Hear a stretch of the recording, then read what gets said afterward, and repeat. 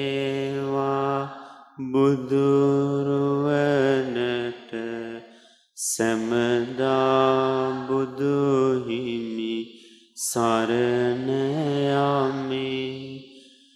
නමස්කාරවේවා දම්රුවනට සැමදා සදහම් සරණයමි නමස්කාරවේවා සඟරුවනට සැමදා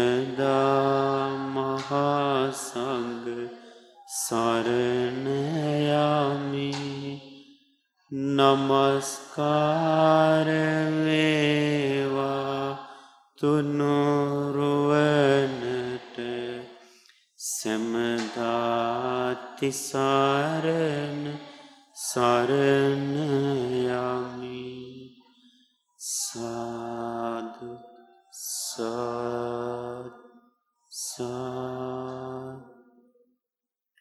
අපට උතුම් ගෞතම් බුද්ධ ශාසනය මුණගස්වා.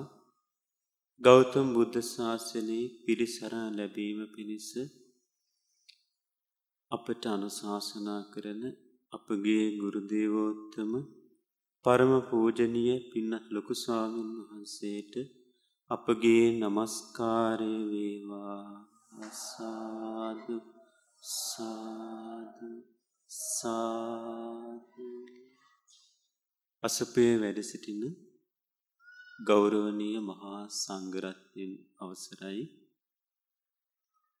ශ්‍රද්ධාවන්ත පින්වත්නි මේ පින්බර වස්සාන කාලේ උයන්දන මහමෙවුනාව භාවන අසපුවේ පැවැත්වෙන උතුම් ධර්ම දේශනා මාලාවේ තවත් එක් දේශනාවක් උදෙසයි ඔබ අද මේ සහභාගි වන්නේ.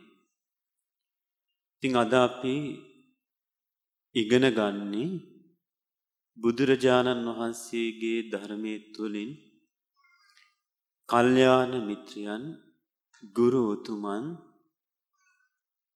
කොයි ආකාරයෙන් පුදදිය යුතුයදයි කියලා. බුදුරජාණන් වහන්සේ දේශනා කළා කතඤ්ඤෝ කතවේදිනෝ භික්කවේ පුද්ගලෝ දුර්ලභෝ ලෝකස්මින් පින්වත් මහණනි කෙලෙහි ගුණ දන්නා කෙලෙහි ගුණ සිහි කරන අය මේ ලෝකේ දුර්ලභයි කියලා. ඉතින් අතීතය පුරාවට ගත්තත් අපිට දකින්න ලැබෙන්නේ බොහෝ දුරට කෙලෙහිගුණ දකිමින් කෙලෙහෙගුණ සිහිපත් කරමින් සත්පුරුෂයන් හැටියට ජීවිතය ගත කරපු අය නෙමෙයි.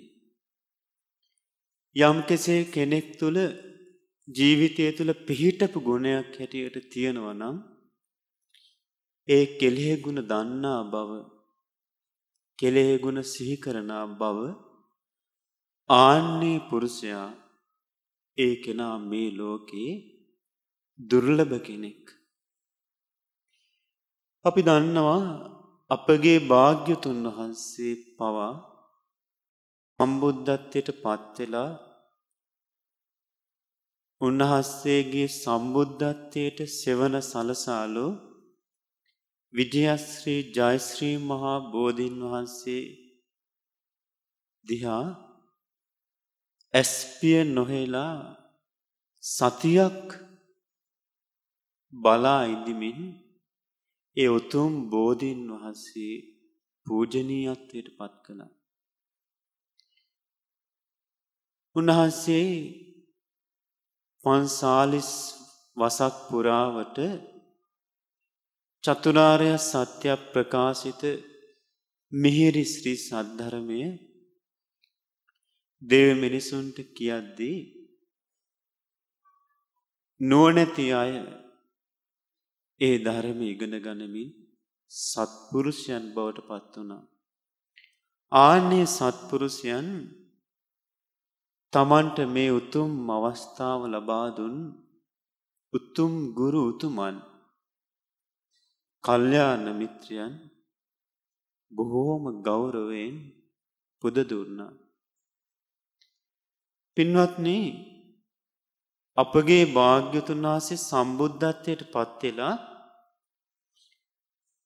මුල් කාලේ උරුවේලාවේ වැඩ ඉන්නකොට උන්වහන්සේගේ සිතේ අදහසක් ඇති වුණා ගුරුවරයෙක් නැතිව ඉන්න එක ජීවිතයට දුකයි. මට ගුරුවරයෙක් හිටියොත් ඒ ගුරුවරයාට ඇපෝපකාර කරමින් උපස්ථාන කරමින් ගෞරව දක්වමින් වාසය කරන්න පුළුවන්. ඒ නිසා මම ඒ විදියට ගරු කළ යුතු සත්කාර සම්මාන කළ යුතු ගුරුවරයෙක් සොයාගන්න ඕනි. එතට උන්වහන්සේගේ සිතේ මුලින්ම ඇතිවෙච්ච අදහස මොකක්ද? ගුරුවරයෙක් නැතුව වාසය කරන එක දුකක්. උන්වහන්සේ කල්පනා කළා මං ගුරුවරයෙක් හැටියට යමෙක් සොයා ගන්නව නම් ඒ සොයාගත යුත්තේ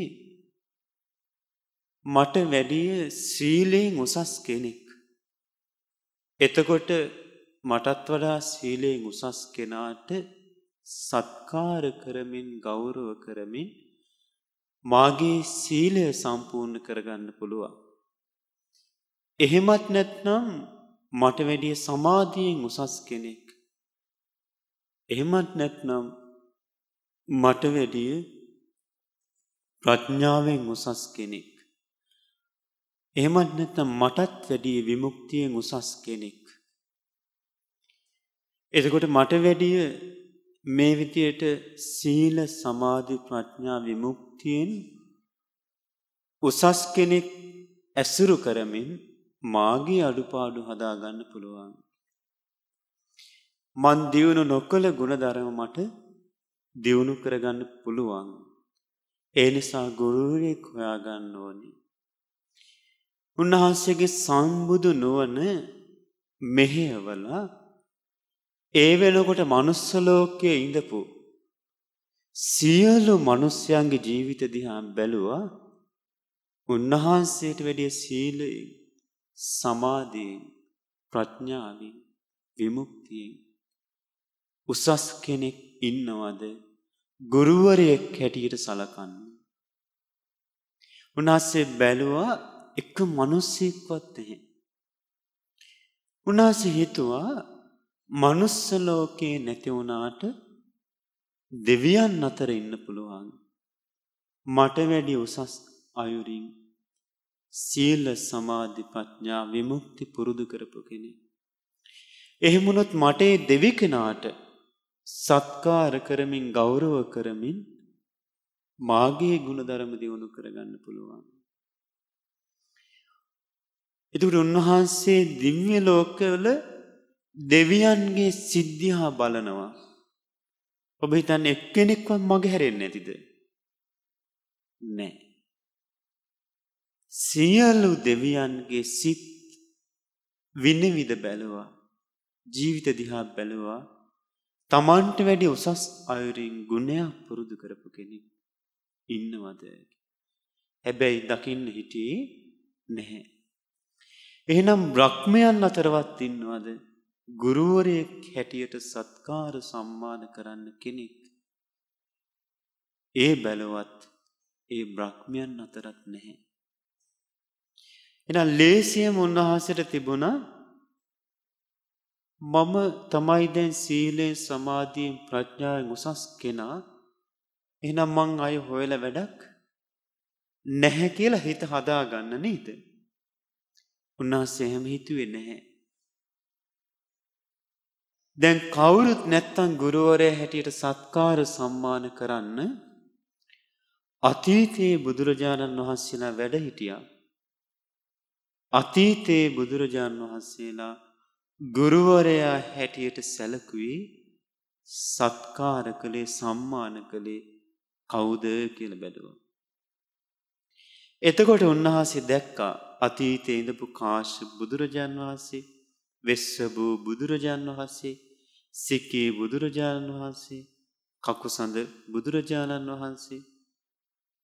එතකොට ඒ විදිහට අතීතයේ බුදුරජාන් වහන්සේලා ගුරුවරයෙක් ඇතිවයි වාසය කළේ. ගුරුවරයෙක් නැතුව නෙමෙයි.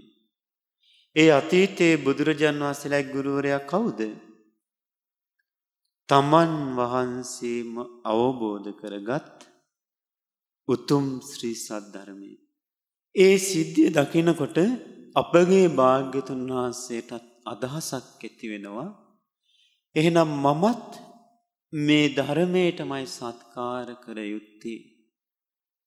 මමත් මේ ධර්මයටමයි ගරු කළ යුත්තේ කියලා. අපගේ බුදුරජාණන් වහන්සේ තමන් වහන්සේ අවබෝධ කරගත් උතුම් ශ්‍රී සද්ධර්මයම ගුරුවරයා හැටියට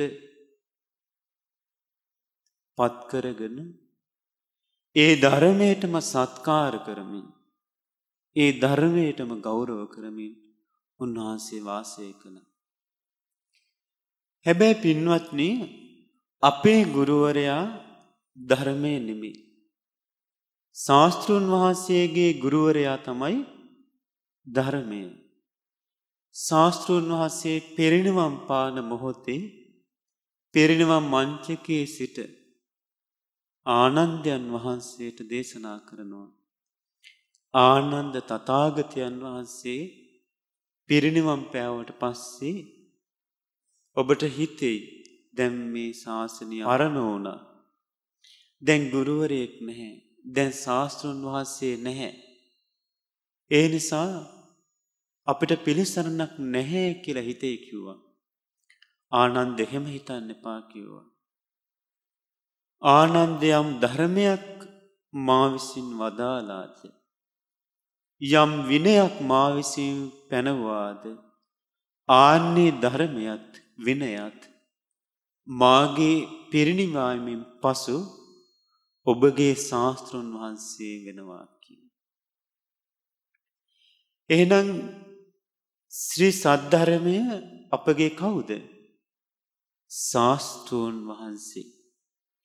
ඒ ශාස්තෘන් වහන්සේ සිදු කළ බුද්ධ කෘත්‍යය ඒ විදිහටම කරන්න හැකියාව තියෙන්නේ උතුම් ශ්‍රී සද්ධර්මයට.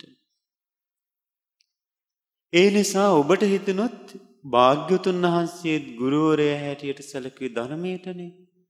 එහෙනම් මගේ ගුරුවරයා ධර්මයයි කියලා ඒක හරි අදහසක්ද?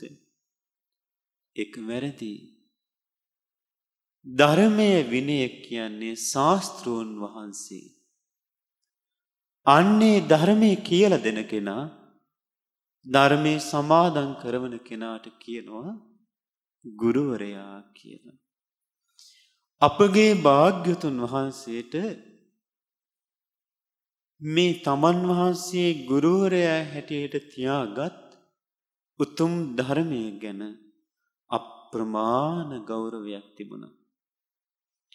උන්වහන්සේගේ ධර්ම ගෞරවය කොපමණද කියන්නේ උන්වහන්සේ දේශනා කරන මහණෙනි එක මේ වගේ දෙයක් කිව්වා. සත්තුන් අතර මෘගයන් අතර අග රජ තමයි සිංහයා කියලා කිව්වා. සිංහයාට යම් ගොදුරක් දැහැගන්න ඕන වුණාම ඒ සිංහයා තමන් ඉන ගුහාවෙන් එළියට එනවා. එළියට ඇවිල්ලා එයාගේ අත්පා දිග හැරලා ඇගේ හිරි අයින් කරනවා. ඊට පස්සේ තුන් වතාවක් සිංහනාද කරනවා. ඒ සිංහනාදය ඇහෙනකොට මේ අහස පියාබෙමින් සත්තු ඉන්නවන ඒ සත්තු අහස ඉහලටම යනව කියන. මාල්ලුන් කිඹුලන් වගේ වතුර ඇසුරු කරගෙන ඉන්න සත්තු ඉන්නවන ඒ සත්වයන් වතුර ඇතුූලටම යනවා කියන. ගුල්ලවා ගුල් ඇසුරු කරගෙන ඉන්න සත්වයන් ඉන්නවන මීයන්න ආදී වසයෙන් ඒ සත්වයන් ඒ ගොල ඇතුූලටම යනවා කියන. වනාන්තර ඇසුරු කරගෙන ඉන්න සත්වයන් ඒ වනාන්තර ඇත්වලටම ගිල හැන්ගෙනවා කියන. සිංහයාගේ ආනුභාවය. ඒ විදිර තුම් වතාවක් සිංහනාද කරන ඒ මෘගරාජ වූ සිංහයා ගොදුරු සොයාගෙන මේ විදියට යනකොට ඒ සිංහයාට ලොක්කු සතෙක් මුණගැහෙන්න පුළුවන් ගොදුරට. එහෙම නැත්නම් පොඩි හාවෙක් වගේ බලලෙක් වගේ පොඩි සතෙක් මුණගැහෙන්න පුළුවන්. හැබැයි සිංහරාජයා ඒ ගොදුරුකට පහර දෙනවද මේ ගදිර ලොකුයි ඒක නිසා වැඩිපුර අවධානයමු කරගන්න ඕනි. ආමේ හාවෙක්නේ මේ මොකෙද්ද කියලා එහෙම වෙනස් කරගන්න නෑ කියලා කියනු. මේ ලොකු සතෙක් මේ බොඩි සතෙක් කියලා. යම් සතෙකුට ප්‍රහාරයක් එල්ල කරනවද. මනාකොට සකස් කරනම ඒ පහර ගහනවා කියනවා. මොක දේකට සිංහයක් කවදාවත් තමන්ගේ පාර වර්ධන විදිහට ප්‍රහාරයක් එල්ල කරන්නේ නෑ කියනවා. එහෙමුණොත් ඒක සිංහයාට මදිකමක් කියනවා. අඩුම තරමි හාවෙකුට එයා පහරක් ගැහුවත් ඒ සාවත් සාවට පහර එල්ල කරන්නෙත් මනාකොට සකස් කරලා කියන. මොකද සිංහයා තමන්ගේ සිල්පයට ගෞරව කරනවා කියන. පින්නත් මහනින ආන්නේ වගේ තමයි කියනවා. දෙව් මිනිස්සුන්ට ශාස්තෘන් වහන්සේ වූ තතාගතයන් වහන්සේ. භික්‍ෂු භික්‍ෂුණී උපාසක උපාසිකා කියන මේ සිව්වන පිරිසේ යම් කෙනෙකුට ධර්මය දේශනා කරනවද මනාකොට මේ ධර්මය දේශනා කරනවා කිව්. ආ මේ ගිහි උදවෙන කියලා උන්වහන්සේ සැහැල්ලුවට ගන්නේ නෑ කියනු. උන්වහන්සට සමහරවිට තේරෙනවා මේ ධර්මය කිව්වට මෙයා මේ ධර්මය අහන්නේ නැහැ. මේ අන්‍ය ආගමික තීර්ථකයෙක් මෙයාට ධර්මය කිව්වට වැඩක් වෙන්නේ කියල් ඒත් ශාස්තෘන් වහන්සේ ධර්මය දේශනා කරනකොට මනාකොටම දේශනා කරනවා කියනවා. ඒක ඕනෑ එපාකමින් කියන්නෑ කියනවා. මනාකොට දේශනා කරනවා. මොකක් දෙකට හේතුව තමන් වහන්සේ ගුරුවරයා හැටියට සලකන්නේ ධර්මයටයි කියල.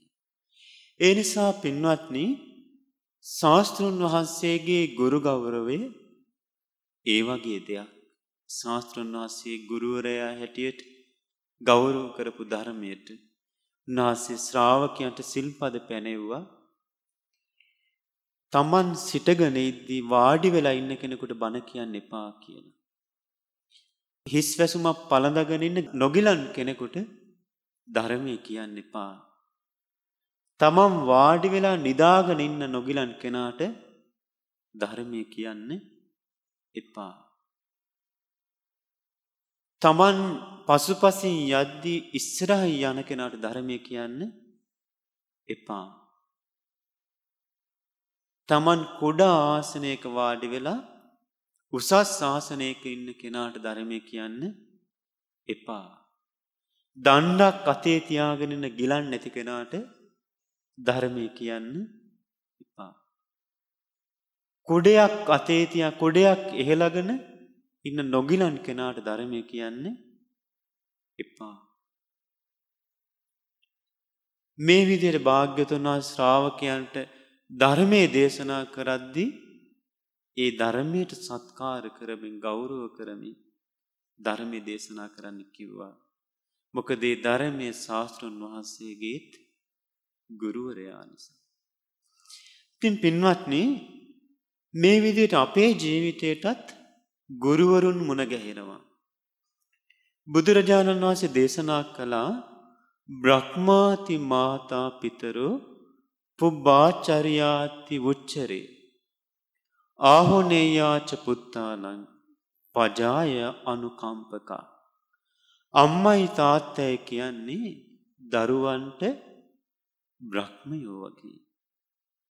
පුබ්බාචරියාති උච්චරේ හැම දේකම මුල් ගුරුවරයා අම්මයි තාත්තයි ආහුනෙයාච පුත්තානං ඒ නිසාම දරුවෝ කොයි තරන් දුරයිඳං හරි ඇවිල්ලා තමන්ගේ අම්ම තාත්තට ඇපෝපස්ථාන කළ යුතුයි. පජායානු කම්පකා තමන් මේ ලෝකෙට බිහි කරපු අම්ම තාත තමයි තමන්ට බොහෝ අනුකම්පා කරන්නේ කියලා. එනම් අපේ මුල්ම ගුරුවරු කවුද? අම්මයි තාත්තයි. ඒ අම්මට තාත්තට සැලකීම ගැනත් භාග්‍යතුන් වහන්සේ දේශනා කළා. අම්මට තාත්තට පොද දෙන ආකාරය උන්වහන්සේ දේශනා කළා. උන්වහන්සේ දේශනා කළා දරුවෙක් කල්පනා කරනවා මගේ අම්ම තාත්තා මට බොහෝ උපකාර කළා. ඒ නිසා මම අම්ම තාත්ත රැක බලා ගන්න ඕනේ. ඒ දරුවා වතුර උණු කරලා අම්ම තාත්තා නහවනවා.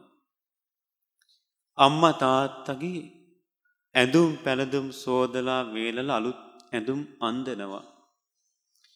තමන්ගේ මධ්‍යකින් බොහෝම ප්‍රනීත විදිහට ආහාර පිළියෙල කරලා අම්මට තාත්තට තමන්ගේ අද්දකින්ම ආහාර අනුභව කරවනවා.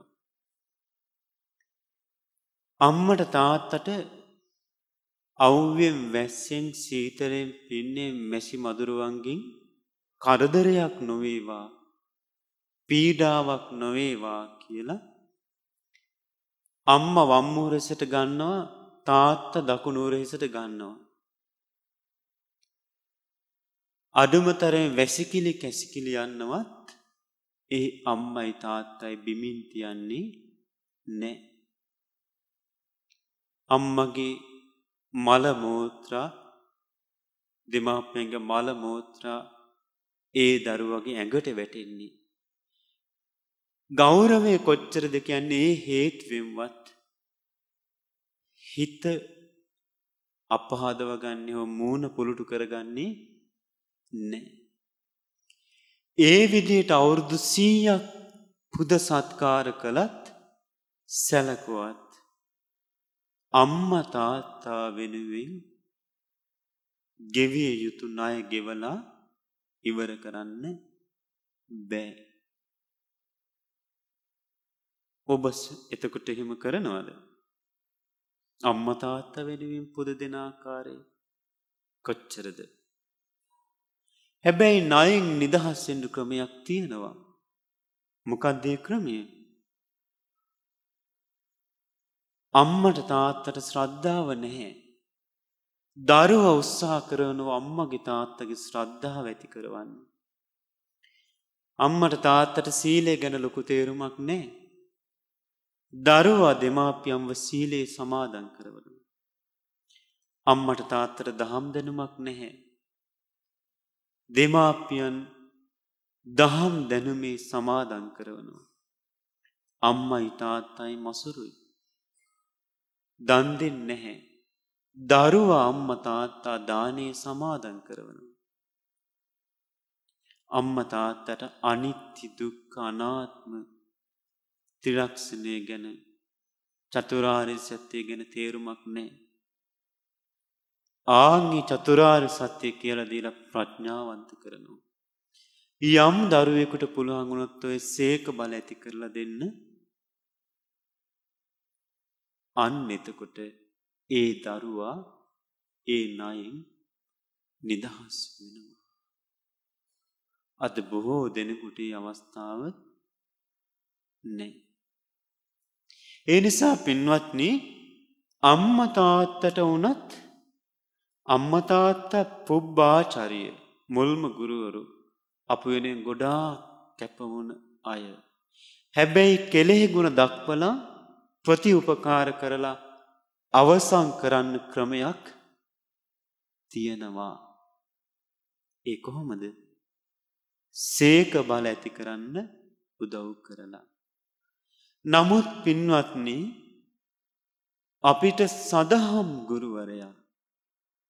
අපිට යම් ගුරුවරයෙක් ළඟට ඇවිල්ල ධර්මය ශ්‍රවණය කරන්න ලැබුණද. යම් ගුරුවරයෙකුවෙන් අපිට බුදුරජාණන් වහන්සේ ගැන අහල සිත පහදව ගන්න ලැබුණද. බුදුරජාණන් වහස් සරණයන්න ලැබුණද. යම් ගුරුවරයෙක් ළඟට ඇවිල් අපි ධර්මය අහල ධර්මය ගැන සිත පහදවගෙන ධර්මය සරණයන්න ලැබුණද. යම් ගුරුවරයෙක් ළඟට ඇවිල්ල අපිට ඒ ශ්‍රාවක සංගරත්නය කෙරෙහි පැහැදී මැති කරගෙන සඟරුවන සරණයන්න ලැබුණද. ආන්නේ තිසරණී ගැන කියලදීපු ගුරුවරයාට කෙසේ පුද දෙම්ද. එයාට සත්කාර සම්මාන කරලා ගෞරව සැලකිරි දක්වලා අවසං කරන්න බෑ කියලා කිව්වා. එකට ක්‍රමයක් නෑ පින්වත්නි. තමන්ට තිසරණයේ දීපු ධර්මය කෙලදීපු දහම් ගුරුන්ව පුදන්න ඒ ණය අවසං කරන්න ක්‍රමයක් කොතනක හෙව්වත් නෑ. එනම් අම්මතාත්තා ගැන හිතුවත් ක්‍රමයක් තියෙනවා. හැබැයි දහම් ගුණුන්ම පුදන්න ක්‍රමයක් නෑ. එනිසා අපිට මේ දහම් ගුරුම්ව ධර්මය කළ දෙන ගුරුවරයාව ගුරුවරුන්ව බොහෝම ගෞරවයෙන් මෙත් සිතින් සිහිපත් කරමින් හැම වෙලායම සිත පහදවාගෙන සිහි කළ යුතුයි. ඒ වගේම ගුරුවරයා යම් මාවතක් පෙන්වා දෙනවාද ආන්නේ මාවතේ ශිෂ්‍යයන් යා යුතුයි. පින්වත්න දහම් මග දියුණු කර ගැනීම ගැන පරිපූර්ණ අවබෝධයක් තිබුණේ අපගේ බුදුරජාණන් වහන්සේට. ඒ බුදුරජාණන් වහන්සේ දේශනා කරපු උතුම් දේශනාවක් තියෙනවා අංගුත්තරනිකාය පස්සනි පොත්වහන්සේගේ. අන්නේ පොත්වාසයගේ තියෙනවා ආදි බ්‍රහ්ම චරියක පඤ්ඥා සූත්‍රය කියලා උතුම් දේශනාවක්. නිවන් මගට මුල්වන ප්‍රඥාව ලබා ගැනීම පිණිස උපකාර වෙන කරුණු අටක් ඇතුළත් වෙනවා. යම් කෙනෙක් ඇති කරගත යුතු. ඒ දේශනාව පළවෙනිම කාරණය තමයි ඒ දහම් මගට පැමිණෙන කෙනා එක්කෝ ශාස්තෘන් වහන්සේ වැසුරු කරගෙන වාසය කරන්නේ. දැන් අද ශාස්තෘන් වහස ඉන්නවද ජියමානව නෑ පිරිනිවම් පෑවා. එහෙමත් නැත්නම් යම් ගුරුවරයෙක් හැටියට සලකන්න පුළුවන් අවවා දනුශාසනා කරන්න පුළුවන් ගුරු තැන්හිලා සලකන්න පුළුවන් ගොරුවරයෙක් වැසුරු කරගෙන වාසය කරනවා. අද අපිට ශාස්තෘන් වහස ඇසුරු කරන්න නෑ. අද අපිට ඇසුරු කරන්න තින කවුද ධර්මය කියල දෙන විනය කියල දෙන දහමෙන් අනුශාසනා කරන කල්්‍යාන මිත්‍රයා ගුරුවරයා. අන්න ඒ විදිහට ඒ යම් ගුරුවරයෙක් ඇසුරු කරගෙන වාසය කරනවාද දැන් ඔබ ගුරුවරයෙක් ඇසුරු කරද වාසය කරන්නේ.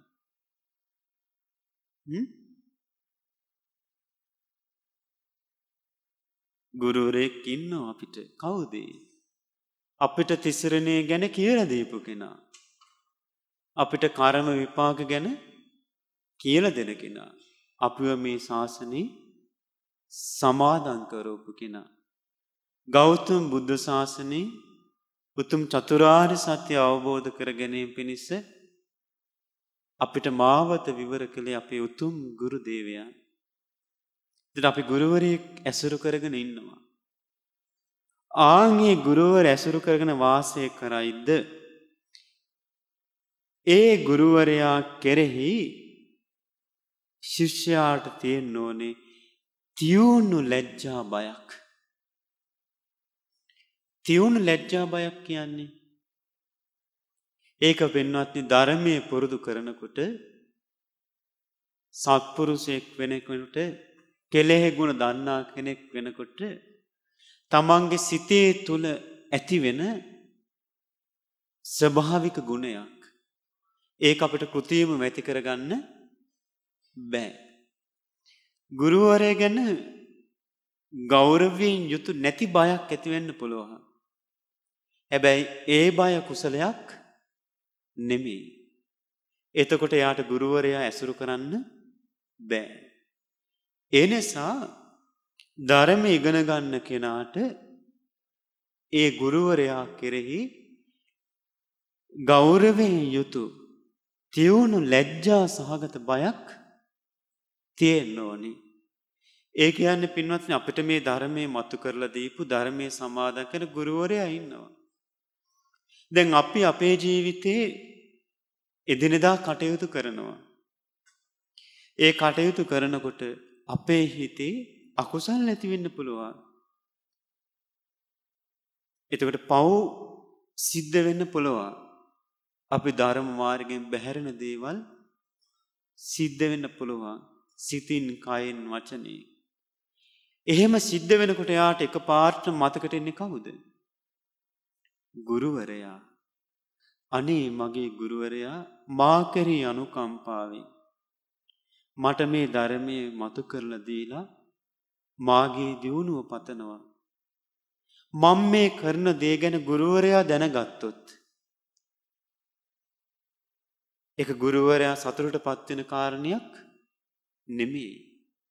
මේ වගේ උතුම් ගුරුවරයෙක් ඇසුරු කරමින් කොහොමද මම මේ වගේ දෙයක් කරන්නේ. එයාට එතකොට නිරන්තරයෙන් සිහියට එන්නේ ගුරුවරයා. ගුරුවරයා ගැන යට තියුණු ගෞරවයක් තියෙනවා. ගුරු ගෞරව ඇසුරු කරගෙන යා වරදි වලකිනවා. ඒ වගේම ඒ ගුරුවරයා ගැනයාට තියුණු ලැජ්ජා සහගත බයක් තියෙනවා. ඒ කරුණ අපේ ජීවිතය තුළ පිහිටිය යුතු පළවෙනි කාරණය නිවන් මගට ඕමනා කරන ප්‍රඥාව ලබා ගන්න නම්. ඒ දේ නැති වුණොත් එතනින් එහාට ගුණධර්ම දියුණු වෙන්නේ නෑ. ඊළඟට භාග්‍යතුන් වහන්සේ දේශනා කරා ඒ නිවන් මඟට මුල්වෙන ප්‍රඥාව ලැබෙන්න තවත් කාරණයක් උපකාර වෙනවා.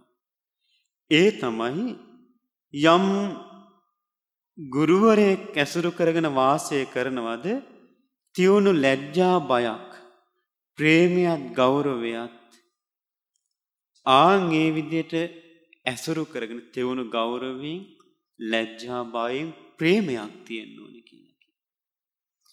ආගේ ප්‍රේමය යුක්ත තමන්ගේ ගුරුවරයා ළඟට එය කාලෙන් කාලට යනවා. ගිහිල්ල ධර්මයේ අර්ථහන ස්වාමීනී මේකමකක්ද. මේක අර් තේරුම් ගන්නේ කොහොමද. ස්වාමීණී මං මේ කාරණය මේ විදිටයි තේරුම් ඇරගෙනන්නේ. ඔන්න ඔය ඒ ගුරුවරයා නිසර ඇසුරු කරන්න ලැබෙනවාද ඒදී නිවන් මගට මුල්ලෙන ප්‍රඥාව ඇති කරලා දෙන කාරණයක් කියනවා. ඉතින් ඒ නිසා පින්වත්නි අපේ මේ උතුම් දහම් මඟ පුරුදු කර ගැනීමේදී අපිට පළමුවෙන් මැතිවෙන්න ඕනේ කාරණයක්. තමන්ට තිසරණේ ගැන කියලා දීපු.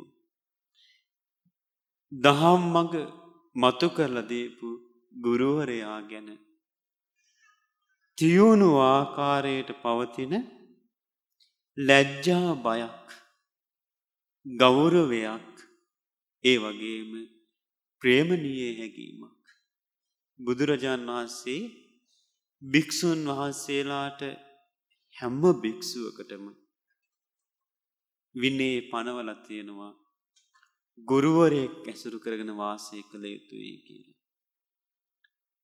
අනුජානාමි භික්කවේ ආචාරි උපජ්ජාය.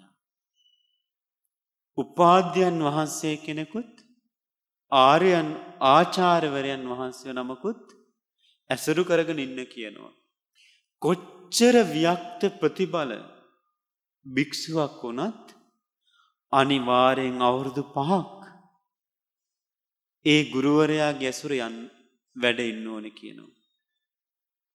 ඒ ව්‍යක්තර ප්‍රතිබල නැත්නම් ජීවිත කාලෙ පුරාවටම ඒ ගුරුවරය යටත හික්මෙන්න කියන කියන. උන්වහන්සේ පනවා වදාළ විනය පිටකි තියෙනවා ආචරිය වත කියලා. පැවිදුණු ස්වාමීන් වහසලට වතක්. ඒ වතේ පළමුුවෙන්ම තියෙන කාරණය තමයි.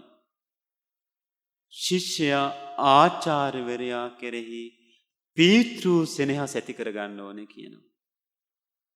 දැ මේ ලෝකේ අපිට පියවුරු එක්කෙන අහින්නනේ තමම් මේ ලෝකෙට බිහිකරපු අම්ම තාත්තා. ඒ තමයි තමන්ගේ පියාණන්.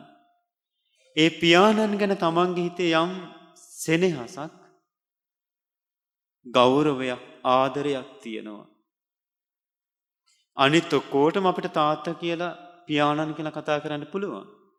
නමුත් තමන්ගේ පියාණන්ට විශේෂ තැනක් හිමේනවා. ආගේ පීතු චිත්තං උපට්ට පෙත්වා ආචාර්යවරයා ගැන ඇති කරගන්න කියලා කියනවා. පීත්‍රෝ චිත්තය මේ මගේ පියාණන් මේ මගේ පියාණන් මේ මගේ පියාණන් කියල තමයි ශිෂ්‍යයාගේ හිති හැම වෙලායම තියෙන. ඒ ආචාරය වතේ තියෙනවා පින්වත්න තමන්ගේ ගුරුවරය අවදි වෙන්න කලින් ශිෂ්‍ය අවදීව යුතුයි. ආචාර්වරයා අවදුවේ නීට පස්සේ. ඊට පස්සේ තමන්ගේ අත් දෙකින් පානීය පරිභෝග පැන් පරිභෝගකයන මූුණ සෝදන මුකය සෝදන පැන්. පානීය කෑන වලදන පැන්. ආගේ පානයේ පරිභෝජන පැන් තමන්ගේ අත් දෙකින් පිළිගන්නන්න ඕන කියන. දැහැටි කියන්නේ දත්ම දිනදේවා. ඒ දැහැටි තමන්ගේ අත් දෙකින් පිළිගන්නන්න ඕනි කියනවා. ගුරුවරයක් පිණ්ඩ පාති වඩින්න කැමතින ඒ තමන්ගේ ගුරුවරයගේ සිවුරු වැරගන ගුරුවරට දෙන්න ඕන කියන. පාත්‍රයේ සෝදලා දිය අයින් කරල ගුරුවරයක අතට දෙන්න ඕන කියන. ඒ ගුරුවරයා යම් කුටියක ඉන්නවද. ඒ කුටියේ ඇද පුටුවාදිය තියෙනවන බිත්තිවල වද්දන් නැතුව දොරවල් වල වද්දන්න නැතුව එලියට ඇරගෙන ඒ කුටි පිරිසුදු කරන්න ඕනි කියන. දින පතා තියෙන වතක්. මකුළු දැල් තියෙනවන්න ඉහලේ දම් පහලට මකුණු දැල් කඩන්න ඕනි කියන. රශ්නය කාලෙකනම් දවල්ට වහලා තියල රාත්‍රී කාල්ට විවෘත කරන්න ශිෂ්‍යයා කරන්න ඕන. සීතල කාලයක් නම් රාත්‍රී කාල්ට ජනීල් වහල තියලා දහවල් කාල්ට ඇරලා තියන්න ඕනි. ගුරුවරයත් එක්ක පිණ්ඩ පාති වඩිනකොට හැම වෙලාම ගුරුවරයාට දුරින් ටිකක් යන්න ඕනෙ කියන. ගුරුවරයා පිළිගත්තට පස්සේ ශිෂ්‍යයා පිළිගන්න ඕනි. ගමේදි කතාබහ කරනකොට ගුරුවරයා කතා කරන දේට ඇහුම්කන් දෙන්න හොද නැහැ කියන. ආපව් එනකොට ආරාම සීමාවට ඇවිල්ල ශිෂ්‍යයා ඉක්මනින් කුටියට යන්න ඕනේ. ගුරු දේවයන් වහන්සේගේ පා දෝවනය කරන්න පැන් පිළියල කරන්න ඕනි. ගුරුදේවයන් වහන්සේ ගෙන පාත්‍රය අතට ගන්න ඕනි. ගුරුදේවයන් වහන්සේගේ පා දෝවනය කරන්න ඕනි. පාපිස්නා රිදිකඩ ඇරගෙන පාපිහන්න ඕනේ. උන්වහන්සේගේ සිවුරු ආදිය දහඩියෙන් තෙත්වෙලාන පරණ සිවුරු ඇරගෙන අලු සිවුරු පිළිගන්නන්න ඕනි. ඒ සිවුරු වේලන්න ඕනි. ගුරුදේවයන් වහන්සේ පාත්‍රය යමක් දෙනවන ඒදේ ගන්න ඕනි. ගුරුදේවයන් වහන්සේට වලදන් ඔක්කොම සෝදානම් කළ දෙන්න ඕනි. ගුරුදේවයන් වහන්සේ වැළඳුවට පස්සේ පාත්‍රය අරම් පිරිසුදු කරන්න ඕනි. මේ විදියට පින්වත්නි ශිෂ්‍යයන්ට තියෙන ගුරුවරයා කෙරෙහි ආච්චාරී වතක්. අතීතය ඔබ අහල ඇති අපි ජාතක කතාදී කියවනකොට හැම්ම තැනම ඉස්කෝල තිබුණේ නෑ. එක්ක ගුරුවරු ගෙනල්ල ගෙදෙට්ට ගෙනල්ල මාලිගාවට ගෙනල් උගන්නනවා. එහෙම නැත්තන් තක්සලාවට යවනවා. එතකොට එහෙම ගියාට පස්ස තමන්ට සිල්පය උගන්නන ගුරුවරයක් කෙරෙහි. අප්‍රමාණ ලැජ්ජා බයකින් ගෞරවයකින් තමයි වාසය කරන්න තියෙන්නේ. ඒ නිසා පින්වත්නි ගුරු ගෞරවයේ තරම් සුන්දර ගුණයක් මේ ලෝකයේ තවත් නැහැ. ගුරු ගෞරය යම් කෙනෙක් තුළ තියෙනවද එයාට මේ ලෝකේ යම් ගුණයක් තියෙනවද ඒ සියලු ගුණයන්ට උරුමක්කාරයෙක් වෙනවා. ගුරු ගෞරවේ නැතුව යනවද එයාට මේ ලෝකී සුන්දර ගුණයන්ට උරුමක්කාරයෙක් වෙන්න බෑ. ගුරුවරයට පයිංගහලා ගුරුවරයාව විනාස කරලා ගුණයක් දෙ පුළුවන් වීදී. පුළුවන් වෙන්නේ නැහැ.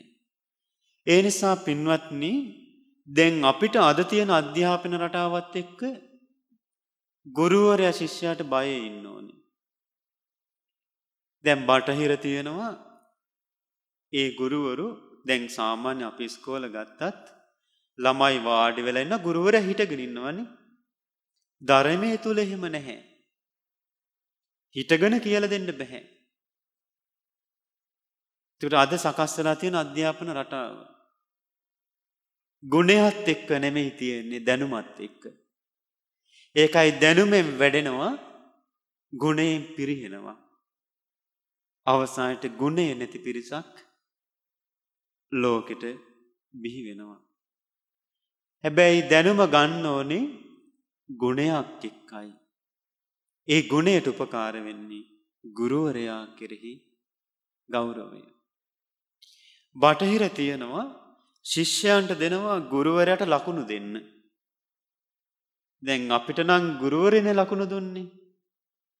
මෙයා මෙහෙමයි මෙහෙමයි කියලා. බටහිර තියෙන එක අනිත් පැත්තේ තමන්ට උගන්නන ගුරුවරයට ලකුණු දෙනවා ළමයි. එතකොට ඒ ලකුණු මට්ටම ඉහළට තියෙනවා නම් එයාට රස්සාව දිගට කරගෙන යන්න පුළුවන්. එහෙම නැත්තම් එයා ෆේල්. එයා රස්සාවෙන් අයින් කරනවා. ගුරුවරයා හැම වෙලාවෙම ළමයාගේ ක්‍රෙඩිට් එක ගන්න තමයි ලකුණු ගන්න තමයි උගන්වන්නේ. ළමයෙකුට සැරකරොත් ළමය ලකුණු දෙන්න හැ. ළමයට අවවාදයක් කරොත් ළමය ලකුණු දෙන්න හැ. ඒක නිසා අමතර ගුණයක් ඇති කරන්න බැහැ බටහිර ගුරුවරුන්ට. අද ලංකාවෙත් ඒ සංස්කෘතිය තමයි එන්නේ. එතකොට මේ ගුරු ගෞරවය කියලා දෙයක් ලෝකේ නැතුව යාවි. ගුරු ගෞරවය නැතුව උතුම් දෙයක් පුරුදු කරගන්න බෑ. ඒ නිසා පින්වත්නි අපිට බුදුරජාන් වහන්සේගේ ධර්මය උතුම් ගුරු ගෞරවය ගැන ගොඩාක් අහන්න ලැබෙනවා. ඔබ අහලා ඇති අපගේ බුදුරජාන් වහන්සේගේ ගිහි කල පුත්ත රත්නය තමයි රාහුලයන් වහන්සේ. රාහුලයන් වහන්සේගේ ගුරුවරයා වුණේ සාරිපුත්්‍යයන් වහන්සේ. එතකොට දවසක් බුදුරජාණන් වහන්සේ රාහුලයන් වහන්සේට දහම් අවවාද කරනවා. සුත්ත නිපාතිය තියෙනවා රාහුල සූත්‍රය කියලා. ඒ රාහුල සූත්‍රයෙන් බුදුරජාන් වහන්සේ නිතර රාහුලයන් වහන්සට අවවාද කරලා තියෙනවා.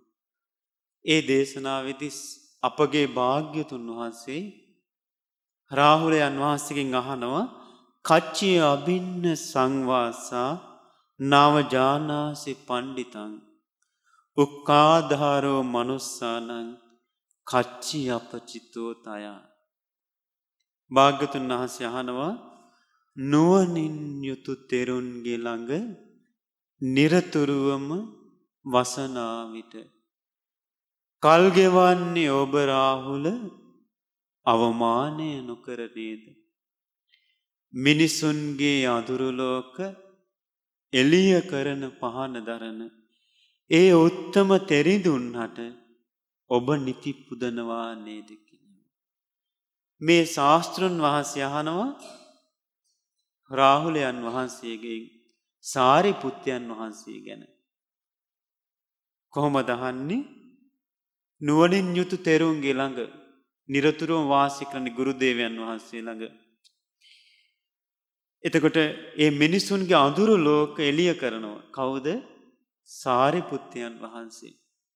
ඒ උත්තම තෙරිදුන්හට දැ ශාස්තෘන් වහන්සේ ශ්‍රාවකයා ගැන තමන් ගනුජාත පුත්‍ර සාරිපුත්‍යයන් වහන්සේ ගැන කියනවා. ඒ උත්තම තෙරිදුන්හට ඔබ නිති පුදනවා නේද කියලහනවා. එහන ශාස්තෘන් වහන්සේ රාහුලයන් වහසින් ඇහුවේ ඔබ භාග්‍යතුන් වහන්සේට පුදනවා කියලද ගුරුවරයට පුදනවද කියලද. ගුරුවරයට පුදනවද කියලා යෙහුවේ. මොක දෙකට හේතුව. ගුරුවරයට පුදන්න නැතුව ශාස්තෘන් වහන්සේට පුදන්න බෑ. යම් කිසි කෙනෙක් කියනවන නෑ මට ගුරුවරයා ගැන සකි සහිතයි ගුරුවරයා පිදියයුතු කෙනෙක් නෙමේ හැබැයි ශාස්තෘන් වහන්සේ ගැන මගේ හිතේ ගෞරවේ තියෙනවා කියන. එය ලෝක රවට්ටන්න කෙන හිස් වචනයක් විතරයි ඒක. යම් කෙනෙක් තුළ ගුරු ගෞරය පිහිටයිද එයා තමයි ශාස්තෘන් වහන්සේ ගැන පවා ගෞරවයෙන් ඉන්නේ. ඒ නිසා පින්වත්න අපි මේ ගුරු ගෞරය වටනාකම හොදට තේරුම් ගන්න ඕනේ. රාහුලයන් වහන්සේ දේශනා කන නාහං අභින්න සංවාසා නාවජානාමි පණ්ඩිතන්. උක්කාධාරෝ මනුස්සානන් නිච්චං අපචිත්තෝ මයා. උනාසි දේශනා කරනවා ඒ නුවනින් යුතු තෙරුන්ගේ ළඟ නිරතුරුවම වසද්දි මම කල්ගෙවන්නේ සමිධානනි කිසිදු අවමනක් නොමකොට මිනිසුන්ගේ අදුරුලෝක එලිය කරන පහන දරන ඒ උත්තම තෙරිදුන්නට මම නිති පුදනවා කියනු. සාරිපුත්‍යයන් වහන්සේ ප්‍රඥාවෙන් අග්‍රයි ඔබ හලති නිහතමානී බවනුත් අග්‍රයි. සාරිපුත්‍යයන් වහන්සේ දවසක් සක්මං කරනකොට උන්වහන්සේගේ සිවුරු පොට බිම ඇතිල්ලෙනවා. අවුරුදු හතක පොඩි සාමනේර ස්වාමින්නාස නමක් මේක දැක්ක.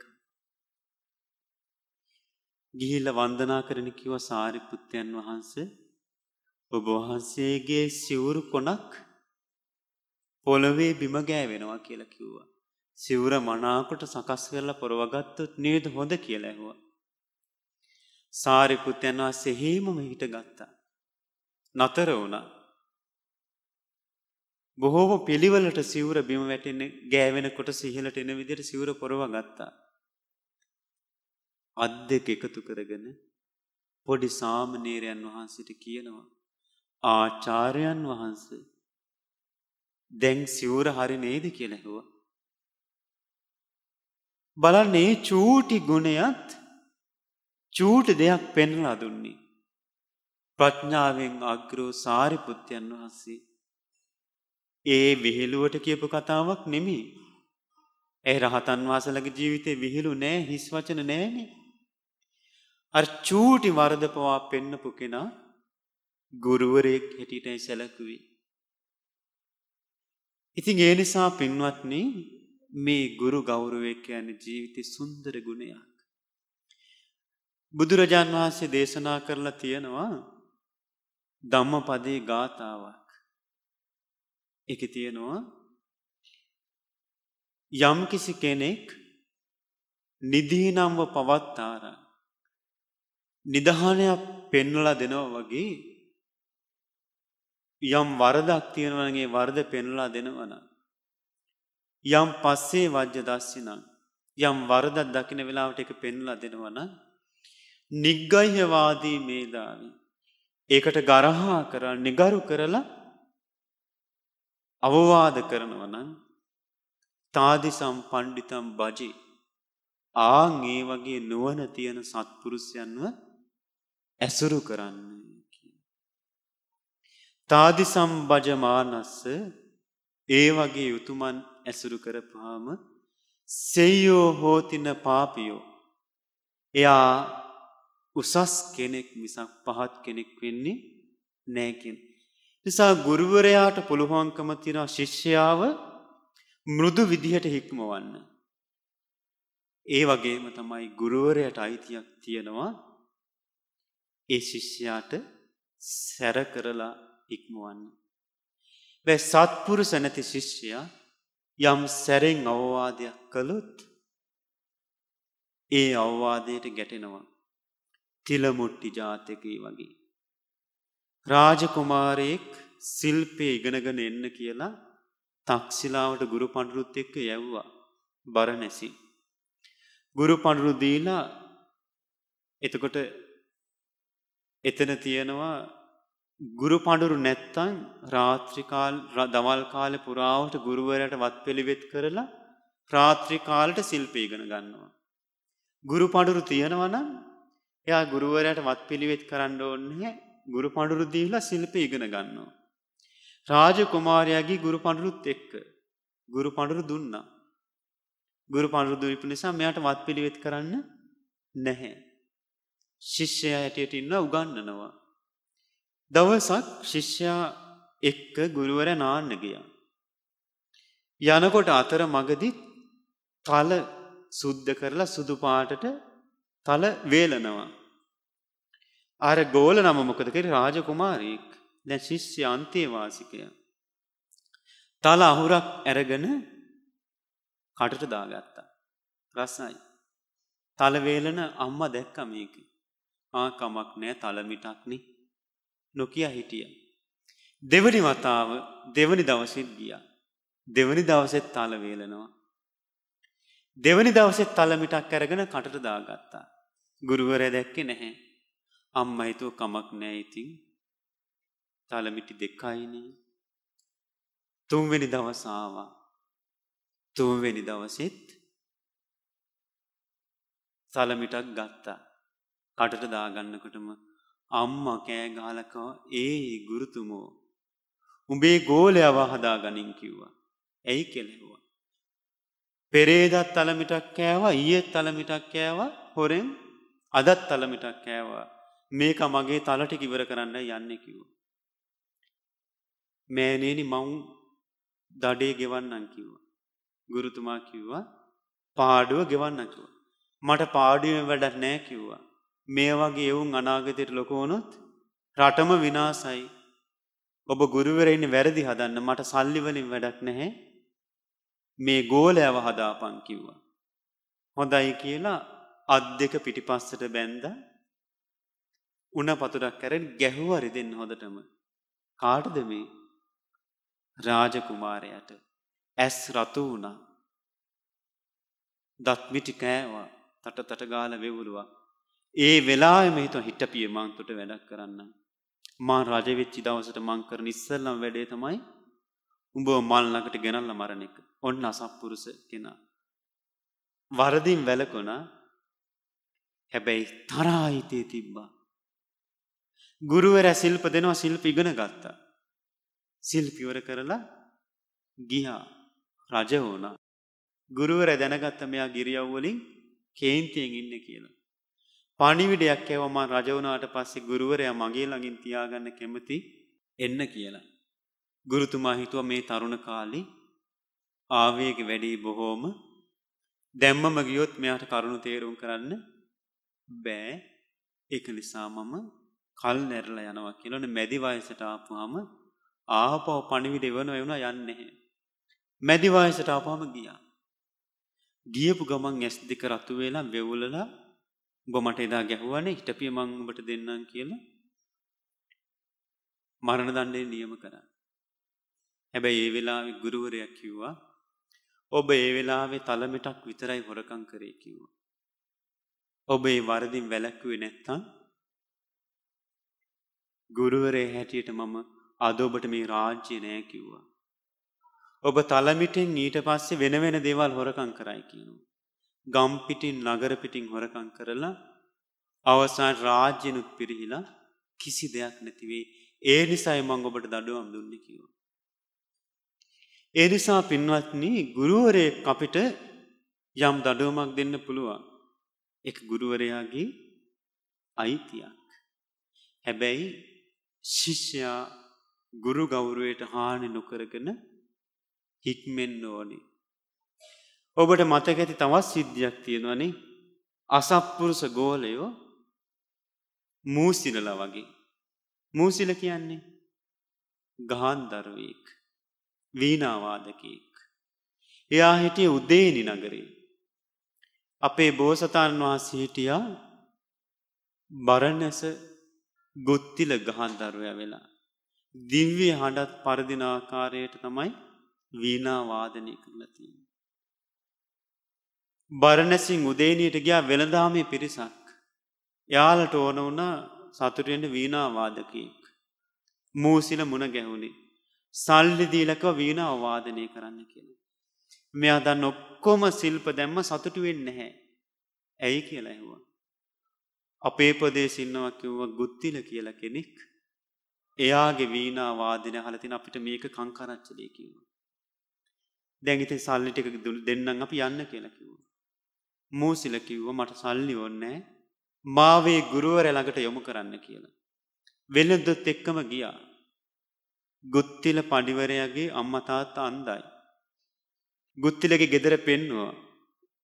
මෙයා ගිහිල්ලා ගුත්තිල ගහන්දරයාගේ වීණා වැරගෙන ගුත්තිල ගහන්දරයා හිටියේ නෑ. වීණා වාදනය කරනකොට අම්මා තාත්තා හිතුව මීයෝ ඇවිල්ලා වීණාවේ තත් කනවා කියලා සූසූ ගාලා එලෙව්වා කියනවා. අහන වෙයි සූසූ ගාන්නේ කියලා. අපේ පුතාගේ වීණාව මීව කනව නේද කිව්වා. ඊට පස්සේ නෑ මම මීයෙක් නෙමේ මම මෝසිල ඔබේ පුත්‍රිරත් පුතාගෙන් සිල්පිගෙන ගන්න අයාව කිව්වා. ඊට පස්සේ ගුත්තිලාවාගේ දෙට්ට ඇව බාහරෙන් දැකපු ගමන් හිතුවා මෙයාට ශිල්පය දෙන්න හොඳ නැහැ කියලා. ශිල්පය ඉල්ලනකොට බැහැ කිව්වා. හැබැයි අම්මට අප උපස්ථාන කරලා දෙමාපියන්ට දෙමාපියන්ගේ වචනයෙන් කැමති කරව ගත්තා. ඉතින් පොරොන්දුනාට පස්සේ ගුරු මුෂ්ටි නැතුව ගුරුවර චුට්ටක් ඉතුරු කරගන්න නැතුව සම්පූර්ණ ශිල්පය දුන්නා. දැන් ගුරුවරයයි ගෝලයයි ශිල්පිය ඥානයෙන් සමානයි. ඊට පස්සේ හිතුවා ඉතින් මෙච්චර දෙයක් දැනගෙන මම මොකටද උදේහනියට යන්නේ බරණැසම ඉන්නවා කියලා මට රජතුමාලගේ සේවය කරන්න කැමතියි කිව්වා. අනේ ඉතින් ගුරුවරයා ගිහිල්ලා රජතුමාට කිව්වා මං දැන් මහලුයි මගේ මේ ශිෂ්‍යයා හොඳට ශිල්පී ඉගෙන ගත්තා. ඒක නිසා මෙයාව ඔබේ සේවයට ගන්න කිව්වා. රජතුමා කිව්වා ඔබේ වැටුමේ භාගයක් මන් දෙන්න. එහෙම නැතුව ගන්න බැහැ කියලා කිව්වා. මූසිලට කිව්වා ඔබට වැටුපෙන්නම් භාගය දෙන්න. ඇයි කියලා ඇහුවා. ඔබ ගෝලයා නිසා කිව්වා. ඔන්න එතකොට ශිෂ්‍යයා කියනවා නෑ මං ගෝලයා වුණා දැන් ශිල්පීය ඥාණයෙන් අපි දෙන්නම සමානයි. ගුරුවරයා මට කියලා දුන්න ඒක ඇත්තෙක නම මම නිගන ගත්ත. මටත් ඒ ගනම් ඕන කියලා කිව්ව. ඊට පස්ස කොහොමරි මේ කරුකාරණ ඉහල සිල්ප දක්වන්න පෙන් කල්පනා කර. ඊට පස්සේ රජතුමත් මේකට කැමති වුණා මණ්ඩපයක් හදලා හවල් දවසේ දෙන්නම සිල්ප පෙන්වන්න ඕනේ කියලා කතිකා කරගත්තා. දවස් හතයි තියෙන්නේ. ගුත්තිල හිතන මං මහලු කෙනා මං වයසට ගියපු කෙනා මට මේක කරගන්න බැරිනුත් මන් ලැජ්ජාවට පත්වෙනවා කියලා කැලේට යනවා. කැලේට ගියාට කැලේ ඉන්න හිත දෙන්න හැ අම්ම තාත්ත සේපත් වෙන මරණ බය ඇතියෙනවා. ආපහු ගමට එනවා. ගමට ආවොත් මේ තරගෙට යන්න වෙනවා. තරගෙට ගියොත් පරදින්න මේ කියලා ආපහු බය කැලට යනවා. දවස් හතක් මෙහෙම යනකොට තනකොළ පොඩි වෙලා පාර හැදුනා කියනවා. මේක දැවුන සක්දි විදුන්ට. සක්දි විදි ඇවිල්ලා ඇහුවා ඇයි කියලා. මේ ගැටලුව කියනකොට කිව්වා පඬිතුමනි මං ගුරු ගෞරවය තියෙන කෙනෙක්.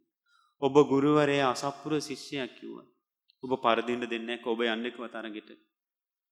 ජය ගන්න මොකද කරන්න කිව්වේ?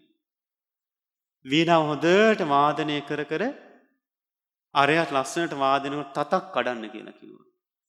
සාමාන්‍ය තත කඩපු ගමන් හඬ වෙනස් වෙනවනේ. මං හඬ වෙනස් වෙන්න දෙන්නේ නැහැ කියලා කිව්වා. ওই විදිහට එතකොට එයත් තත කඩයි කිව්වා. හැබැයි හඬ එන්නේ නැහැ එතකොට යාගේ වීණාව. ඔයා තත් හතම කඩන්න එතකොට එයා තත් හත කඩයි සද්ද දෙන්නේ එයාට නිකම් පරදින්න. මෙන්න මේ ගල් බෝල තුනක් තියෙනවා. අවස්ථා තුනකදී උඩට දාන්න කියලා කිව්වා අහසට. තරගෙට ආවා. දැන් දෙන්නම එක තරගෙට වීණා වාදනය කරනවා. දෙන්නම සමානයි. සක් දෙමිදු ගුරු ගෞරවේ තියෙන කෙනෙක්නේ. ගුත්තිලටිකව එක තතක් කඩන්න. මර හිමීට තතක් කැඩුවා. හඬ වෙනස් වෙන්නේ නැහැ. තවත් ලස්සන වෙනවා. එතකොට මූසිල හිතුවා ආ මෙයක් මමත් කඩන්නල හඬ කැඩුවා. තත කැඩුව හඬ එන්නේ නැහැ. ඊට පස්සේ තත් හතම කැඩුවා ලස්සනට වීණා වාදනය. ඊට පස්සේ අර ගල් බෝල තුන අහසට දාන දෙවි අප්සරාව 900ක් ඇවිල්ලා එතන නැටුවා කියලා කියනවා. මිකෙන් ජය ගත්තා. ඉතින් ඒක නිසා පින්වත්නි ඔය කතාව කියන්න හේතුනේ දේවදත්ත මුල්ලලා. දේවදත්ත බුදුරජාණන් හිංසා කරනකොට භික්ෂුන් වහන්සේලා කිව්වා දේවදත්ත දැන් බලන්න ඔයා බුදුරජාණන්ස ළඟට ආපු නිසා සූත්‍ර පිට ඉගෙන ගත්තා. විනය පිටක ඉගෙන ගත්තා. ධ්‍යාන ඇති කර ගත්තා. ඉරදි ඉගෙන ගත්තා. එච්චර කරලත් ඇයි බුදුරජාණන්සට මෙච්චර හතුරුකම් කරන්නේ? ආ. එයා මම නිගන ගත්තේ. මම ඉගෙන ගත්තේ නැත්නම් කොහොමද කියලා හෙව්වා.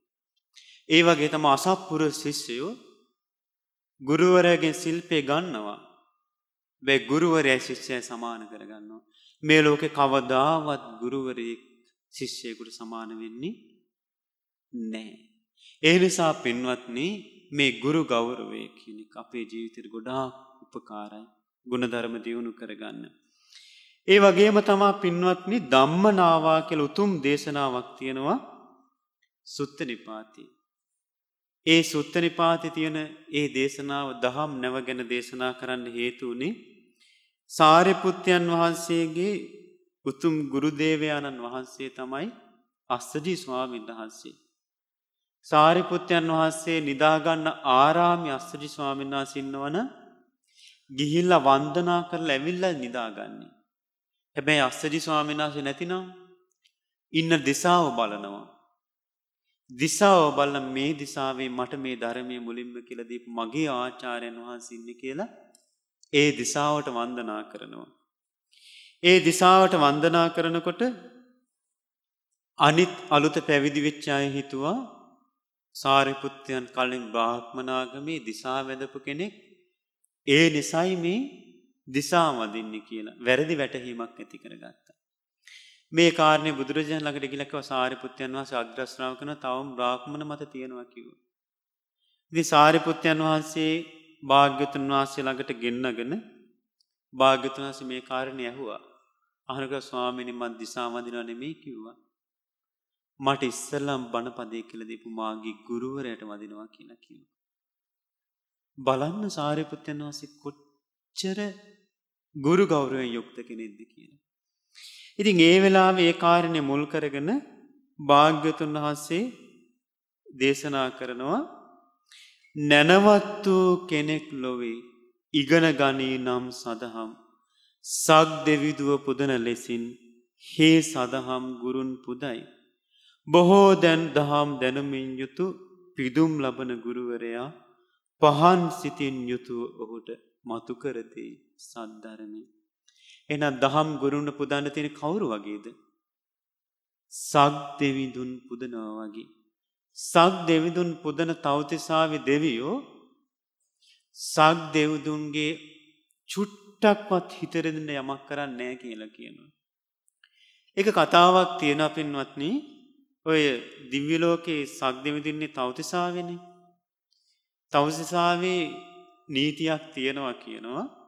ඒ තමයි දැන් යම් දිව්‍ය කුමාරකගේ මාලිගාවක දිව්‍ය අප්සරාව පහළුත් මෙහිම් පින් කරගන්න කෙනෙක්. එයා අයිති ඒ දිව්‍ය පුත්‍රයට. එතකට මාලිගා දෙකක් අතර පහළ වෙලා යම් මාලිකාවද්‍යහ බලාගෙන ඉන්නවන ඒ මාලිගාවින්න දිව්‍ය පුත්‍රයට මාලිගා තුනක් අතර පහළ වෙලා දිසාවක් බලාගෙන නැතුව බිම් බලාගෙන ඉන්නවන තුන් දෙනාටම අයිති. තුන් දෙනාම එතකොට අයිතිය කියනවා. විසදණ්ඩ කෙනෙක් ඉන්නවා කවුදේ සක් දෙමිදු. එහෙම සිද්ධියක් වෙලා තියෙනවා. අනුරුද්ධ ස්වාමීන් වහන්සේක නංගිගේ ඇගේ කුෂ්ටයක් තිබුණා. ඒ කුෂ්ටේ හොඳ වෙන්න කියලා රත්තරන් ආභරණ විකුණලා එකින් ආරාමයක් හදලා පූජා කරනක එක කළා. ඊට පස්සේ ලස්සනම ලස්සන දිව්‍යාංගනාවක් වෙලා මාලිගා තුනක් අතර පහළ වුණා. මාලිගා තුනේම දිව්‍ය කුමාරවරුන්ට මේ දිව්‍ය අප්සරාව ගැන හිත ගියා. තුන් දෙනාම කතා කරලා කෙනවා මටයි අයිති මටයි අයිති මටයි අයිති කියන. එහෙම නැත්තන් අපි යුද්ධ කරමු කියලා කියනවා. මෙයාව ගන්න. ඉතින් මේක විසඳගන්න බැරි වුණා. තුන් දෙනාම ගියා සක් දෙවුදු ළඟට මේ නඩුව විසඳන්න. දිව්‍ය අප්සරාවත් ඇරගෙන. ගිහිල්ල අහනවදැන්. තුන් දෙනාම කරුණු කියනව නෑ මටයි මෙයා වැඩිපුර කැමති නෑ මටයි මෙයා වැඩිපුර කැමති. නෑ මටයි මෙයා වැඩිපුර කැමති තුන් දෙනාම කාල ගෝටිය. සක්දෙව්දු අහාගන හිටියා. අහග නිදල කිව්ව දිව්‍ය පුත්‍රවරුණි මං යමක් කිව්වට කමක් නැද්ද කියලහව. අර තුන් දෙනම කෙනම් මෙයා නැත්තං මට මෙහෙම වෙනවා මං මෙහෙම කරගන්න මං මෙහෙම කරගන්නවා කියලා කියනවා. එකොට සක් දෙවිඳ කිව්වා පින්වත් දෙවරුණි මේ කාරණය මම කියනවා කිව්වා. මේ දිව්‍ය අප්සරාව මට ලැබෙන්න ඕන කිව්. එහෙම නැත්තම් මම් මැරෙනවා කියලා කිව්වා. ඒ තරමටම ලස්සන. අර දෙවිය පුත්‍රවරු තුන් දෙනාම වැදගත්තා. දනගහ ගත්තා. අනේ සක් දෙවිදුනී. ඔබනන් ජීවිතයට හානියක් කරගන්න එපා කිව්වා. ඔබ තමා අපේ රජතුමා. ඔබේ දුක අපි චුට්ටක්වත් කැමති නැහැ. ඒ නිසා අපි තුන්දෙනාම එකතුනම් මේ දිව්‍ය අප්සර ඔබට දෙන්නම් කියලා ඒ තුන් දෙනා ගියා කියන. සක් දෙවිදුම් පුදන්නේ එහෙමයි. තෞතිසාවින දෙවර චුට්ටක් පස් සක් දෙවුන්දුගේ හිතරි දවන්න නැහැ. සක් දෙවුදු නිසා දිවලෝක ඉපදිලාදේ. නෑ සක් දෙවිදු නිසා යල දිව්‍ය සැප සම්පත් ලැබිලද. ඒත් නැහැ නමුත් තමන්ගේ නායකයා ගෞරවේ. දෙව්වරු සක් දෙවිද පුදන්නේ විදියට. අපේ ගුරුදේවයන් වහන්සේ අපිට මොනාද නොදුන්නේ. එහෙනම් අපි කොයි ආකාරයෙන් පිදිය යුතු ඉදනේ ඒ ගුරුවරයාගේ හිත චුට්ටක්වත් අපි රිදවනවන ඒක ශිස්සයකුට වටිනවද නැහැ. අන්න ඒ නිසා පින්වත්න අපේ ජීවිතය අපට ගොඩාක් උපකාර වෙනවා ගුරු ගෞරව ඇතිකර ගැනීම. ඊළඟට බුදුරජාණන් වහන්සේ දේශනා කළ තින බික්කු මිත්ත කියලා සූත්‍රයක්. ඒ සූත්‍රයේ තියෙන භාග්‍යවතුනා දේශනා කළා මෙහෙම. මහණනි අංග සතකින් යුක්ත කල්්‍යයාන මිත්‍රයා ගුරුවරයා තමාගෙන් වෙන් කරු ලබද්දී. දැන්ගේ ගුරුවර ඇසුරු කරගෙන ඉන්න අංග හතකින් යුක්තයි ගුරුවරයා.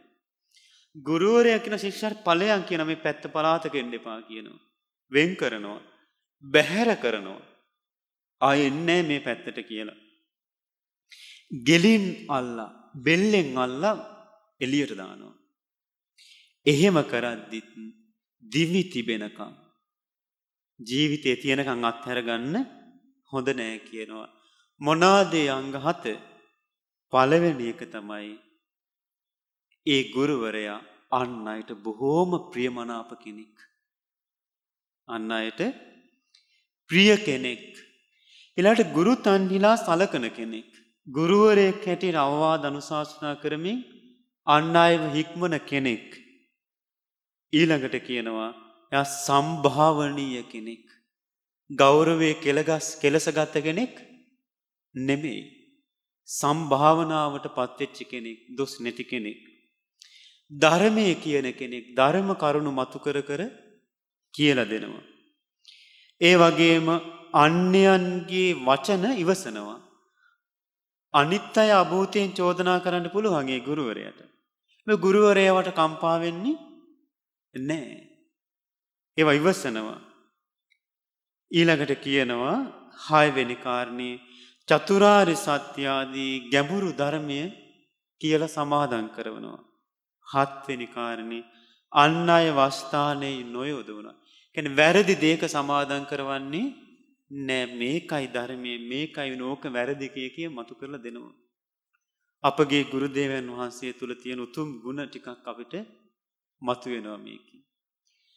බුදුරජාණන් දේශනා කන මෙන්න මේ කරුණු හත තියෙනවන ය බැහැර කරද්දී. එලියට දාන්ති. බෙල්ලෙන් අල්ලලා විසි කළත් ආපෝ හැරල එන්න කියලා කියනවා. ජීවිතයේ තියෙන තුරාවට ඒ ගුරුවර ඇසුරු කරගෙන ඉන්න කියලා කියන. සමයට අපි ගුරුවරය අත්හරින්නේ. අපි කතා කරන්න ගිය අපිත් එක කතා කරන්නේ. අප හිනහවුන මට හිනහවුන්නේ කියල කොච්චර ලාමකයිදන. ඒ නිසා පින්වත්න මේ ගුරුවරු ඇසුරු කරන්න ඕනාකාරයක් හොදට තේරුම් ගන්න ඕනේ. බුදුරජාණන් වන්සේ කාලෝ බහල ඇති තුන්වෙනි ධර්ම සංගායනාව කරේ මොග්ගලි පිත්තතිස ස්වාමීන් වහන්සේනි උන්වහන්සේට දෙවනි ධර්ම සංගායනා කරපු රහතන් වහන්සේලා බ්‍රහ්ම ලෝකෙට ගිහිලා ආරාධනා කරේ. බ්‍රාහ්මණ පවුල ගෙපදුන්නේ මට මතකයට අවුරුදු 14ක් නැත්නම් 16ක් ඒ ගෙදරට පින්නපාති ස්වාමීන් වහන්සේ නමක් ගිහිල්ලා සිත පහදවගෙනයි පැවිදි කළේ. පැවිදි කළ ධර්මය උගන්නන්න ගුරුවරයෙකුට දුන්නා. ගුරුවරයා කල්පනා කරා මෙයා බ්‍රාහ්මණ වංශික කෙනෙක්. මෙයාගේ මාන්නේ නැති කරන්න ඕනේ කියලා උදේම ගිහිල්ලා ආචාර්ය වත හැටියට දැහැටි ටික දෙනකොට දැහැටි අරගෙන විසි කරනවා කියනවා. විසි කරලා වෙන දැහැට්ටක් අරගෙන දත් මදිනවා. පැන් ටික දෙනකොට පැන් ටික අරගෙන විසි කරනවා. ගුරුවරයා රහතන් වහන්සේ නමක්. අලුතින් පැන් ටිකක් අරගෙන මෝදෝව ගන්නවා. ශිෂ්‍යය අතු ගානවා මොග්ගලි පුත්ත තිස්ස ස්වාමීන් වහන්සේ. තව රහත් වෙලා නැහැ. හික්මවන්න. අතුගාපදේ ගුරුවරය ඉදල අරගෙන ආපහු අතු ගානවා. ඔබට හොම කළොත්. ගුරුවරය මොනා කරයිද ඔබ. ඔපට දෙන පිරිකර ගත්ත නැත්තන් සමහරට හිතේ ගැටෙනවනි. හැබැයි දවස් හතක් එක දිගට ඔය විදියට කරා කියලා කියනවා හිත චුට්ටක්වත් වෙනස් කරගත්ති නෑ ගෝලය. ඉස්සර ගුරුවරය ළඟට දහම් අවවාද ගණ්ඩ යන ගෝලයා ගියාට පස්සේ මුලින් කතා කරන්නේ කියන වැදලා ඔහේ ඉන්නවා. ආපහු යනවා. දවස් 7ක් එහෙම ගියාට පස්සේ ඇයි ආවේ කියලා අහනවා. මට මෙහෙම දෙයක් දැනගන්න ආවේ. ගුරුවරයා වෙනුවෙන් මොකද්ද කරන්න පුළුවන් කියලා. අනේ කරන්න බැරි දෙයක් නෑ කියනවා. එහෙනම් අර ප්‍රපාතයට පයින්න ඕනේ පුළුවන්ද කියලා අහනවා. බෑ කිව්වොත් ශිල්පේ දෙන්නේ නැහැ. ප්‍රපාතයට පයින්නකොට පැන්නොත් තමයි ශිල්පය දෙන්න කියන ධර්මය කියල දෙන්න. ගිනි අගුරු වල පෙන්ලක්කොත් මේ ගිනි අගුරු වලට පැනපන් කියලා ශිෂ්‍යයාට තියෙන්ඩ ඕන කියනවා ඒ ගින්නි අගුරු වලට පයින්න පුළුවන් ගුණය. පෘදර්ජන ලෝකයේ ස්වාමි රාමා කියලා ඉතිය ඉරිසිවරේ හිමාල මේජුගේ කෙනෙක්. එයා දැන් නැතිව තිම එයාගේ පොතක් කියවන්න ලැබුණ. එයාගේ ගුරුතුමා තමන් එක්කනිද පෙක ශිෂ්‍යයෝ පිරිසක් එක්ක විස්සක් වගේ පිරිසක් එක්ක ගංගා කියන ගඟලකට ගිහිල්ලා තියෙනවා. වතුර වේගෙන් ගලාගෙන යනවා. ගුරුවරයා ගඟලකට ගිහිලා ශිෂ්‍යයන්ට කියලා තියෙනවා මේ ගඟට පැනලා එහා පැත්තට පීනන්න පුළුවන් කාටද කියලා. එක එක එක්කෙනා කියලා තින අනේ මට පීනන්න පුරුන්නේ. මට බයයි. මම මැරෙයිද දන්නේ. එතනද තින මේ රාම කියන කෙනා. එයා කෙලින්ම ගඟට පැනලා අමාරුවෙන් එගොඩට ගිහිල්ලා. පස්සේ කාලෙක දෙයාගෙන් අහලා තියෙනවා ගුරුවර එදා ගඟට පයින්න කෙන ඔබට මොකක්ද හිතුනේ කියලා. නෑ මට මොකුත් හිතුන් නෑ කිව්වල ගුරුවරයා ගඟට පයින්නක මම පැන්න කිව්වල. හැබැයි අර ශිෂ්‍යයන් විසි දෙනාගේ මිතුරුලා තියෙන මෙයා විතරයි. ගුණයක් පින්වත්නි. ඒ නිසා අපි මේ ගුරුවරු හොඳට අඳුනා ගන්න ඕනේ. ඊළඟට බුදුරජාන් වහන්සේ දේශනා කරපු තවත් ලස්සන කරුණු ටිකක් තියෙනවා. මේ කරුණු ටික ඇත්තටම දේශනා කරන්නේ මෙලිදු රාජ ප්‍රශ්නය කියන පොතේ නාගසේන ස්වාමීන් වහන්සේලාගේ මිලිදු රජතුමා. මිලිදු රජතුමා ගුරුවරයෙක් තුල තියෙන්න ඕන කරුණු මෙන්න මේ විදිහට කියනවා. කොහොමද ස්වාමීනි නාගසේන වහන්සේ මෙහිලා ආචාර්යවරයා විසින් එක ශිෂ්‍යයා කෙරෙහි හැම විට নিরතුරුව රැකවරණය පිහිටවිය යුතුයි ශිෂ්‍යයාගේ රැකවරණය පිණිස හැම වෙලාවෙම ගුරුවරයා කටයුතු කරන්න ඕනේ. ශිෂ්‍ය ඇසුරු කළ යුතු ඇසුරු නොකළ යුතු තැන් ආචාරයා පෙන්ලා දෙන්න ඕනේ කියලා. අපේ ගුරුදේවයන් වහන්සේ අපිට පෙන්ලා දෙනවා ඒවා. ශිෂ්‍යයාගේ ප්‍රමාදයටත් අප්‍රමාදයටත් කරුණු කියන්නේ මේවා කරොත් ඔබ ප්‍රමාද වෙනවා.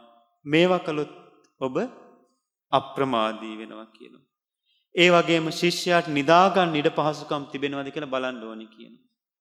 අපේ ගුරුදේවයන් වහන්සේ බලනවා කවුරුහරි ස්වාමීන් වහන්සේ නමක් ආවොත් කුටියක් තියනවද කොහොමද කියලා බලනවා. අනිත් අය යොමු කරනවා. ඔහුගේ ගිලන් නොගිලන් බව දත යුතුයි. ශිෂ්‍යයා ගිලන්ද නොගිලන්ද බෙහෙත් ගන්නවද කියලා දැනගත යුතුයි. ඔහුට ආහාර ලැබෙනවද නැද්ද කියලා දැනගන්න ඕනේ කියනවා. ඒ ශිෂ්‍යයාගේ තියෙන විශේෂ කුසලතා අඳුන ගන්න ඕනේ කියනවා. ඒ වගේ මාචාරය තමන්ගේ පාත්‍රයට ලැබුණු දේ ශිෂ්‍යත් එක්ක බෙදා ගන්න ඕනි කියනවා. බයවෙන්න එපා ඔබ දියුණු වෙනවා කියලා ශිෂ්‍යාව හැම වෙලාවෙම අස්වසන්න ඕන කියනවා. ඒ වගේම මේ පුද්ගලයා එක්ක හැසිරෙන්න මෙයත් එක්ක ඇසුරු කරන්න එපා කියලා ඇසුරු කළ යුතු නොකළ යුතු කෙනාව අඳුන්ලා දෙන්න ඕන කියනවා. මෙන්න මේ ගම ඇසුරු කරගෙන මේ ප්‍රදේශයට යන්න එපා කියලා ප්‍රදේශයේ පෙන්ලා දෙන්න ඕන කියනවා. විහාරය මේ විදිහටයි වාසය කරන්න ඕනේ කියලා පෙන්නල දෙනවා කියනවා. ශිෂ්‍යයා සමඟ විහිළු තහළු ක්‍රීඩා කරන්න හොඳ නෑ කෙන දැන් අද ටියවෂන් සමහරයන ක්‍රීඩා කර කර විහිළු කර කර පිහිටන්නෑ සිල්ප විහිළු කරන්න හොඳ නෑ කියනවා. ශිෂ්‍යයා සමඟ අනවස් සල්ලාප සල්ලා පේදෙන් හොඳ නෑ කියනවා. ශිෂ්‍යයාගේ වෙම්වෙලා වාසය කරන්න ඕන කියනවා. ශිෂ්‍යත් එක්ක එකට මින්න හොඳ නෑ කියනවා.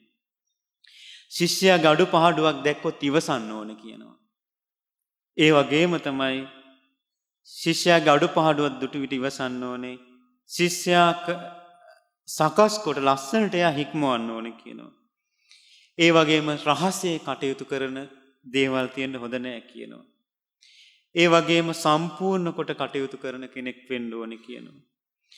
සිල්පයන් කෙරේ ශිෂ්‍යයා කෙසේ උනන්දු කරන්නේද කියලා ගුරුවරයා හැම වෙලාම ශිෂ්‍යයාට ශිල්ප කියල දෙන්න ඕන කියනවා. ඒ වගේම කෙසේ නම් ශිෂ්‍යයා නොපිරිහෙන සීලාදී ගුණධර්ම දියුණු කරගන්නවද කියලා සීලේ සමාදන් කරවන්න ඕනි. ඒ වගේම තමයි ශිෂ්‍යයාට කළයුතු දේ අප්‍රමාදීව කටයුතු කනට සිත පසු බට වුණොත් එයා කෙරෙහි අනුකම්පාවෙන් උපකාර කරන්න ඕනි කියනකින්. මෙන්න මේ විදිට පින්වත්න උතුම් ගුරුවරුහි තිබිය යුතු ලක්ෂණ ඒ මිනිදු රජතුමා නාගසෙන්වා සිදිරිය කියනවා. ති මේවා කියවනකොට අපිට තේරෙන දෙයක් තමයි අපගේ ගුරුදේවයන් වහන්සේ මේ උතුම් ගුණයන්ගෙන් යුක්ත බව. ඒ වගේ උතුමන් මේ ලෝකෙට පහළ වෙන්නේ කලාතුරකින්. ඒ නිසා පින්වත්නේ අපිට බොහෝම ගෞරවයෙන් සිහිපත් කර ඇසුරු කරගෙන ඉන්න පුළුවන් උතුම් ගුරුවරයෙක් කල්්‍යයාන මිත්‍රයන් වහන්සේ නමක් මේ යෝගේ පහළ වෙලා ඉන්නවා. ඒ නිසා ඒ අනුකම්පාව නිසාමයි අපිට මේ හැම දෙයක්ම ලැබුණේ. එනිසා උතුම් ගුරුවරයාගේ අවවාද නිරන්තරයෙන් සිහිපත් කරගෙන. අනුශාසනා නිරන්තරයෙන් සිහිපත් කරගෙන නිරන්තරයෙන්ම ගුරු ගෞරව ඇති කරගෙන ගුරු ගෞරවෙන් පිරුණු හිතක් ඇති කරගෙන ගුරුවරයා වෙනුවෙන් ජීවිතය අත්හැරලා මේ උතුම් දහම් මග දෙවුණු කරගෙන අප හැම දෙනාටම ගෞතම් බුදු සසනේ උතුම් මාරි සත්‍ය අවබෝධ කරගන්න වාසනාව උදාවෙත්වා සාදු සාදු සාදු